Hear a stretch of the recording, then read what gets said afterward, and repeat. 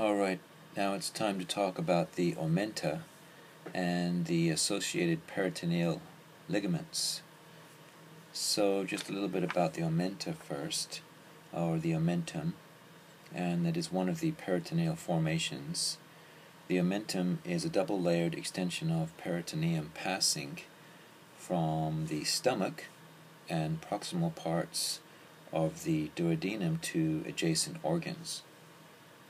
So there is um, a greater and lesser um, omentum.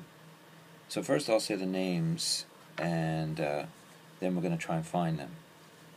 So first the greater omentum, and these are the G's, the three G's. They're quite e easy to remember these ligaments.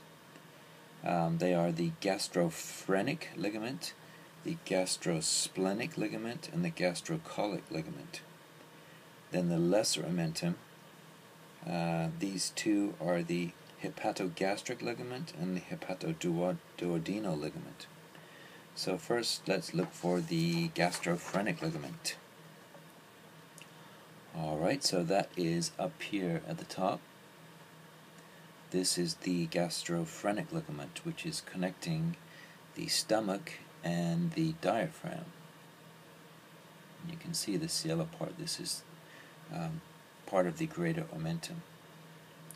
Next we have the gastrosplenic ligament.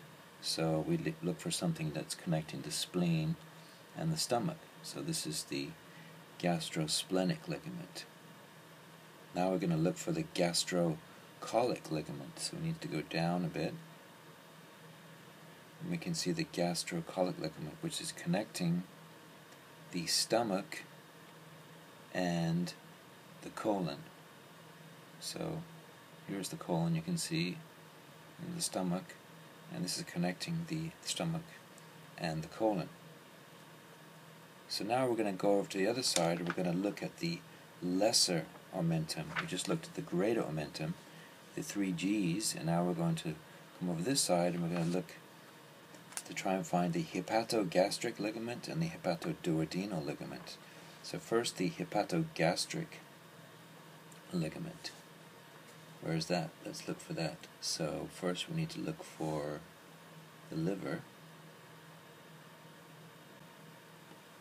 So we're looking for the uh, hepatogastric ligament, but this is also known as the gastrohepatic ligament.